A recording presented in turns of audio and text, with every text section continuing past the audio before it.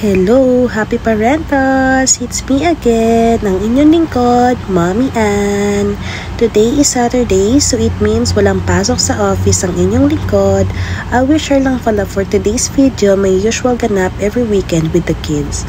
Siyempre, pagbangon, na-realize ko na wala si daddy dahil nga nag-back to work na siya. Umalis na nga pala siya last Tuesday at ngayon ay nasa bar ko na.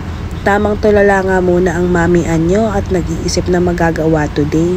Naisipan kong maglaba. Pero paano eh, sleeping pa nga mga bagets. Hindi ko naman sila pwede basta-bastang iwanan dito sa room gawa ng baka biglang magising ang baby ate. Napagdesisyonan ko na nga munang ibaba itong mga labahin namin. Aakyat na lang ako agad at aantayin kong magising muna ang mga babies. Ginanahan nga ako maglaba dahil ang ganda ng sikat ng araw. Sana'y hindi scam.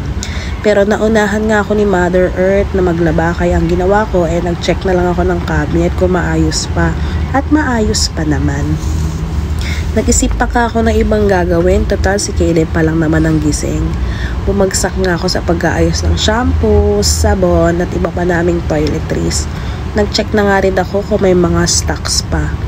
Share ko nga lang pala sa inyo para makatipid nga pala ako sa shampoo. Nabili ako ng tatluhan na sachet.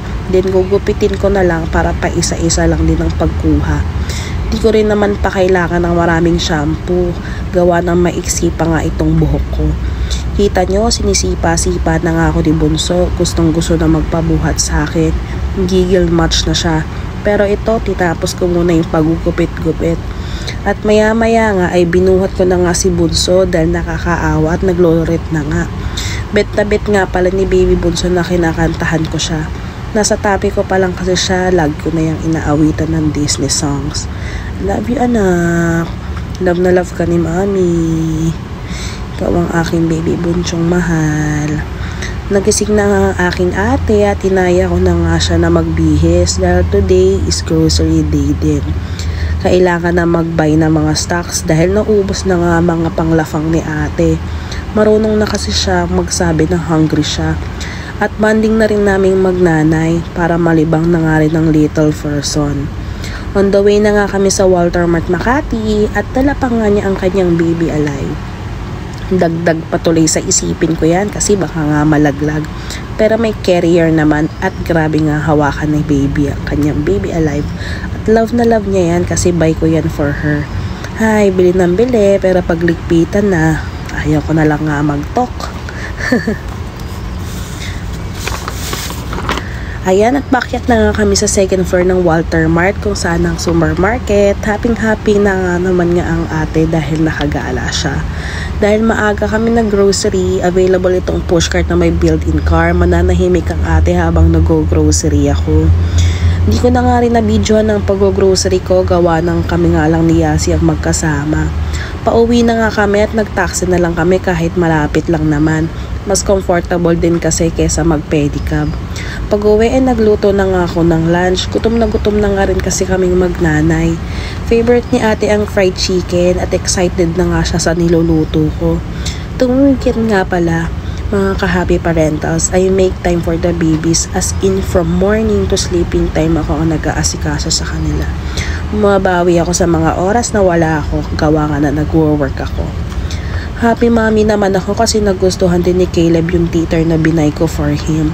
Magsi 7 months na kasi siya kaya nasa teething stage na nga ang baby bunso.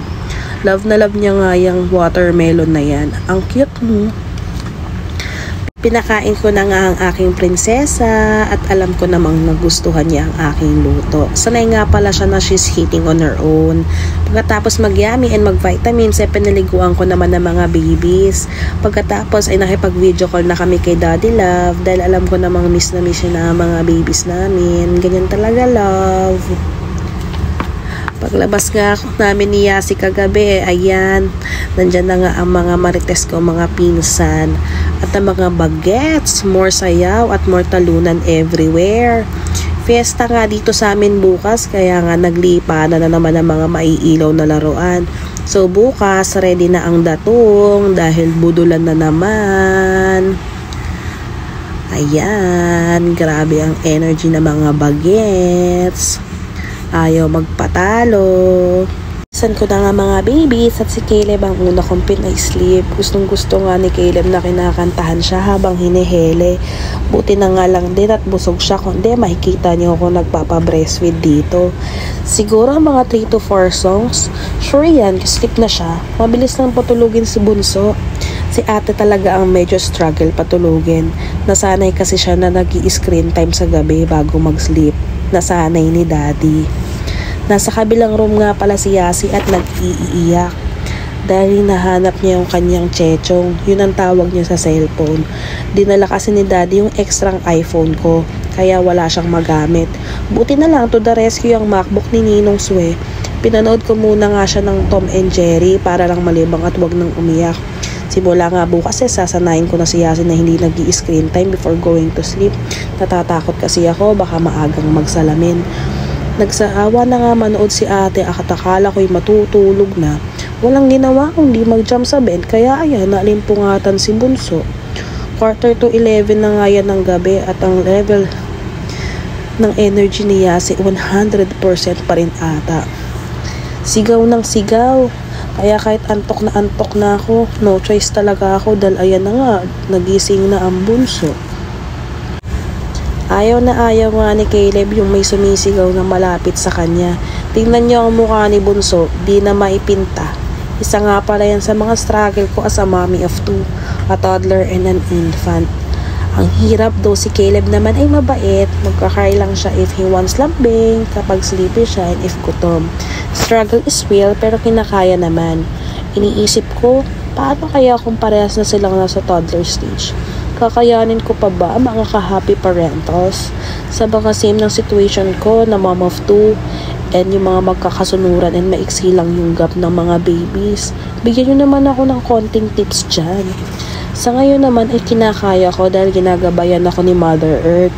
Super thankful nga ako sa mama ko kasi nga siya ang nagbabantay sa mga babies tuwing weekdays at kapag nagwo-work ako. You're the best, Papa. Shoutout ka rin pala sa aking favorite pinsan at kamarites na si Ate Chi.